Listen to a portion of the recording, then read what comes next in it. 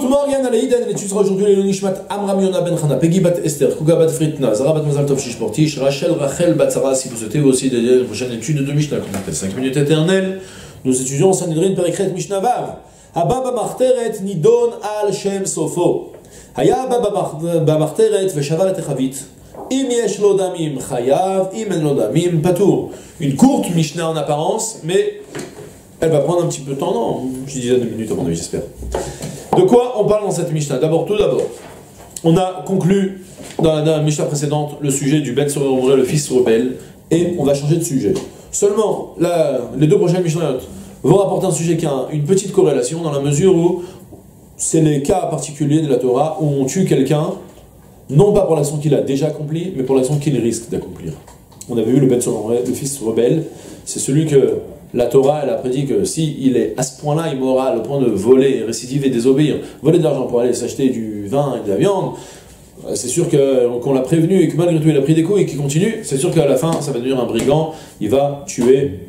Euh, D'accord C'est certain qu'il va devenir meurtrier. La Torah a dit allez, supprime-le depuis tout de suite. Selon le même principe, maintenant on va voir dans, les deux prochaines Mishayot des personnes que l'on tue sur, en prédisant ce qu'ils sont capables de faire il y a le célèbre digne du Rodef, celui qui poursuit quelqu'un pour le tuer. Ça sera la prochaine Mishnah. On apprendra. Qui poursuit quelqu'un pour le tuer, la Torah a dit tue-le avant qu'il tue. Pourquoi attendre qu'il tue pour ensuite le condamner à mort? Tout de suite, tue-le.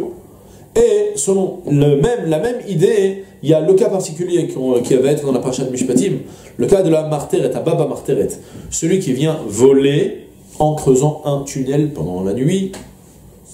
D'accord?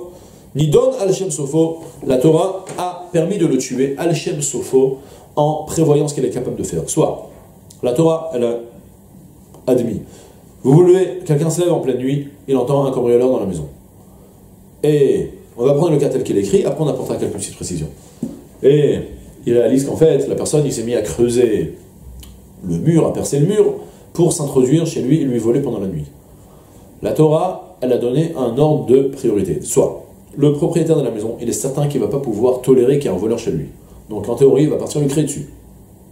Et quand l'autre il va voir qu'on l'a surpris en train de voler la nuit, il est certain que ce voleur de nuit, il va le tuer. La Torah a dit, pourquoi attendre qu'il va le tuer? Tue-le depuis tout de suite. D'accord? Vous avez compris l'enchaînement? Celui qui vient donc, donc concrètement, quelqu'un qui cambriole la nuit alors qu'il a percé le mur, on a le droit de le tuer. Le propriétaire a le droit de le tuer. Et même un autre voisin a le droit de le tuer. Pourquoi? Pas parce que c'est un voleur, parce qu'un voleur, il n'a pas de statut, il n'est pas, pas condamné à mort, mais parce que c'est un meurtrier potentiel. Pourquoi c'est un meurtrier potentiel? Parce que, vous allez me dire, euh, l'autre, le propriétaire, il a qu'à rester enfermé dans sa chambre, et le cambrioleur, il va servir sans, tuer personne. Ouais, mais la Torah, elle a, admis le fait qu'un homme n'est pas capable de se retenir, qu'il va forcément venir le crier dessus. Et donc l'autre, il va forcément le tuer, de ce fait, devance le coup de feu, et tue, toi, le cambrioleur? D'accord? Sans cela que ça ressemble au bête sur qu'on tue quelqu'un parce qu'on va faire de la psychologie en fait. On va voir, on va estimer, prédire qu'est-ce qu'il risque de faire, de ce fait on va le tuer depuis tout de suite. D'accord? Maintenant, Haya Baba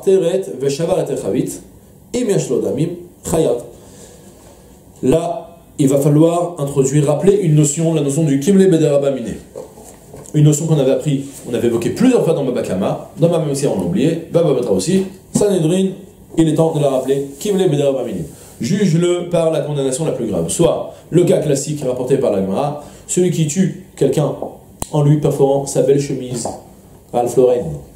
Et en plus de ça, en le rendant toute rouge et ça part pas au Brésil. D'accord?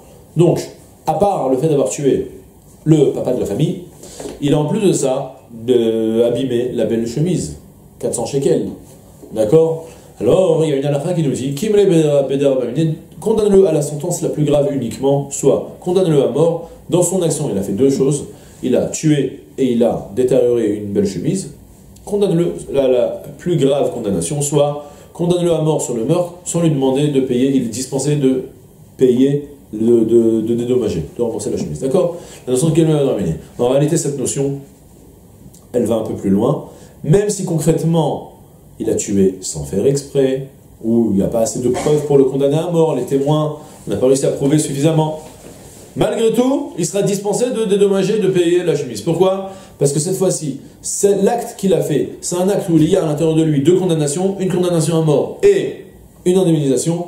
Et de ce fait, on va s'intéresser que au sujet de la condamnation à mort sans, lui imposer d'indemniser. D'accord? Donc finalement, il va sortir du Beddin sans ni être condamné à mort, ni même dédommagé. D'accord? On referme la parenthèse maintenant du Kemel et on revient sur le Baba Marteret. En l'occurrence, celui qui s'introduit la nuit pour voler, puisqu'en théorie c'est un meurtrier potentiel, il est en ce moment condamné à mort.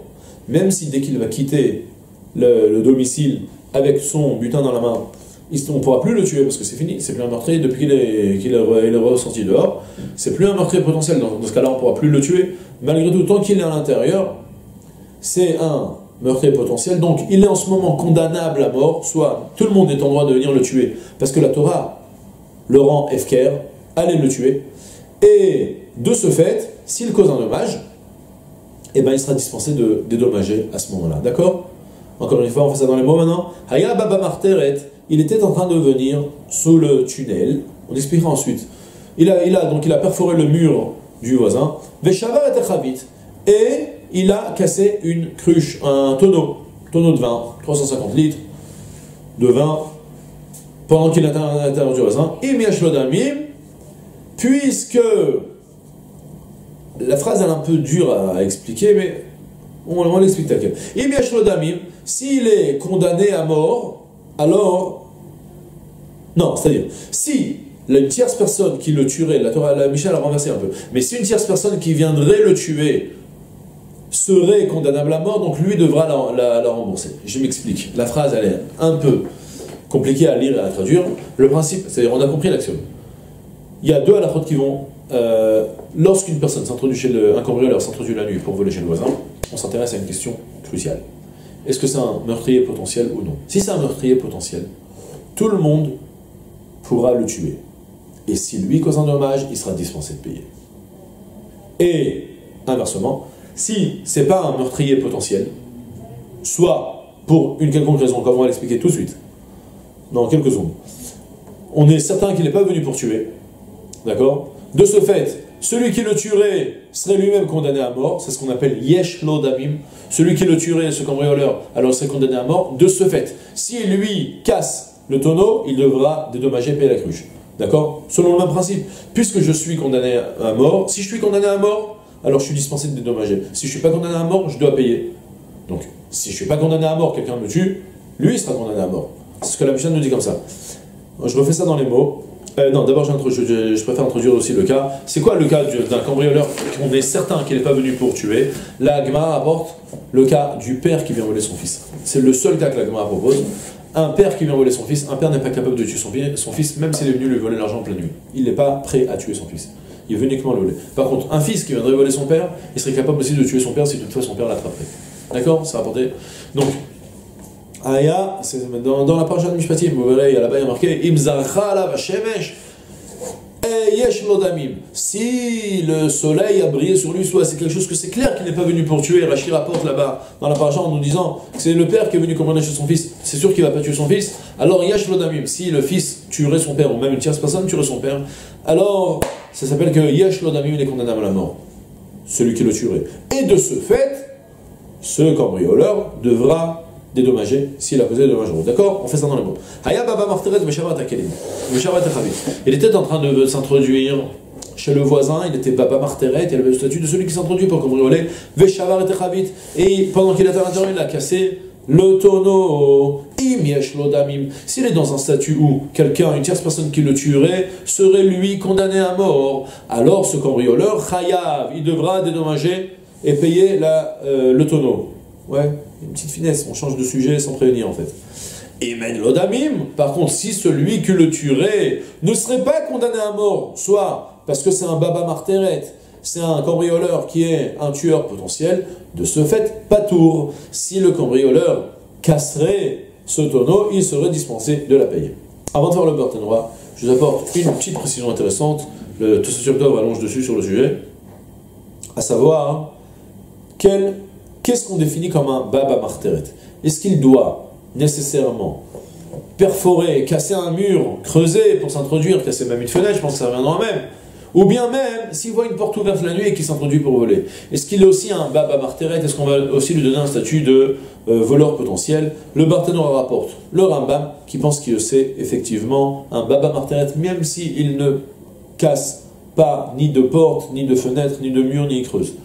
Le simple fait de s'introduire la nuit, c'est, ça lui donne un statut de Baba Marteret, d'un cambrioleur potentiellement assassin. Et qu'on a une visa donc de tuer. D'accord? On fait ça dans les mots maintenant. À Baba Marteret. Quel est le Baba Marteret Celui qui s'introduit dans la galerie. Shamra Torah, il y a règle que la Torah a dit de le tuer, qu'elle a permis la Torah de le tuer?